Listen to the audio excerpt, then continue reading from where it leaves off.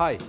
في عدة طرق لزيادة الأكسيتوسين المعروف بهرمون الحب بالدم بتشير الأبحاث من سنة 2013 أنه ممارسة اليوغا بتساعد على زيادة إنتاج الأكسيتوسين.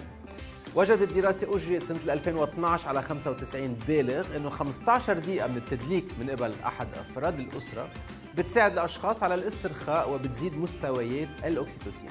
بتساعد مشاركة الحب والعاطفة والتعبير عنهم بزيادة تركيز هالهرمون بالدم. قضاء وقت ممتع مع الأصدقاء بيساعد على الشعور بالدعم الاجتماعي وبيخفف الشعور بالعزلة.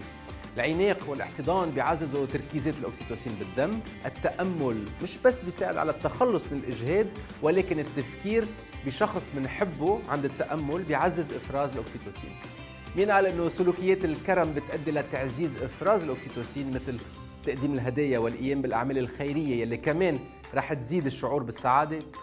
أنا قال. szafszówką Bukra.